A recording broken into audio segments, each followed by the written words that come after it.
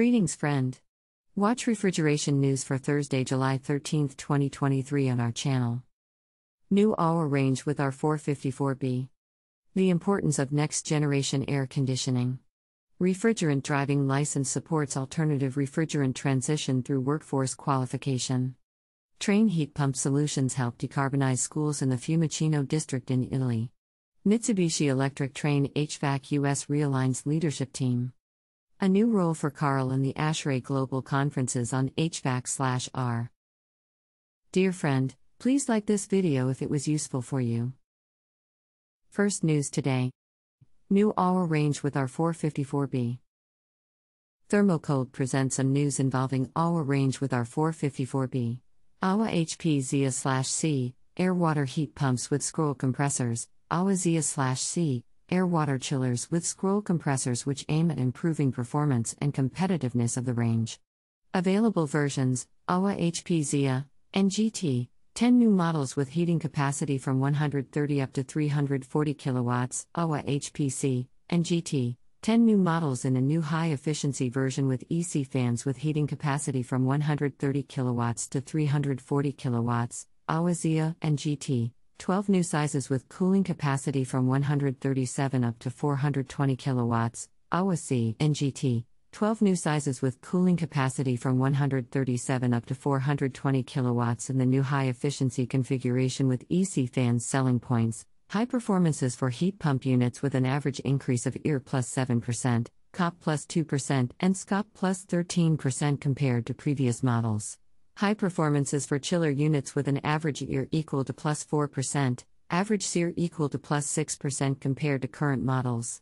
New Thermologic Advanced Controller, high reliability of performance data, extensive range of available options, touchscreen 7 inches, predictive management of the electronic expansion valve, additional algorithms to better protect the drive, graphics that can be customized by the customer to adapt the operation of the unit to specific needs, detail of all types of alarms, more historical data, more secure remote connections. Read more the news on our website today. Second news today. The importance of next generation air conditioning. As climate scientists predict 2023 to be the world's hottest year, people are bracing for heat waves around the world.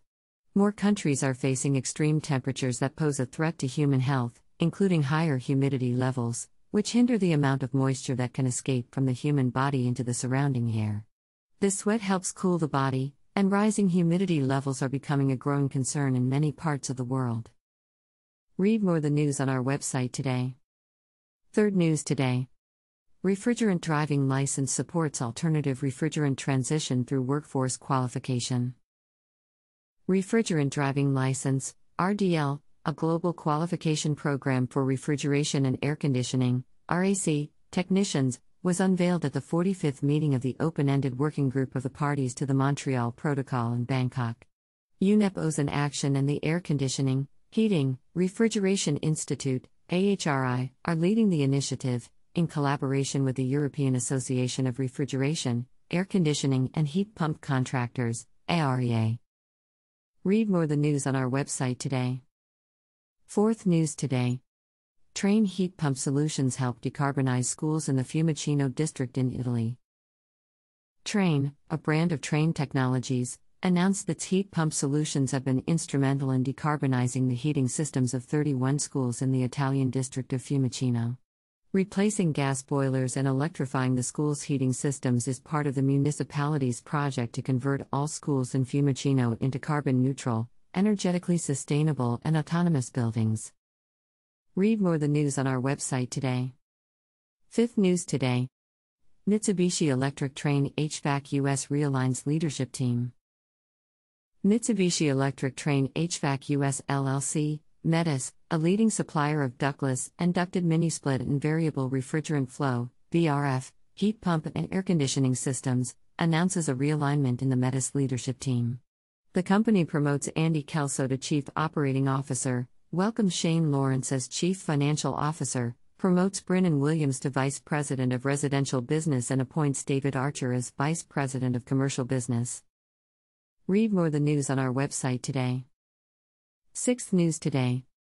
A new role for CAREL in the ASHRAE Global Conferences on HVAC/R.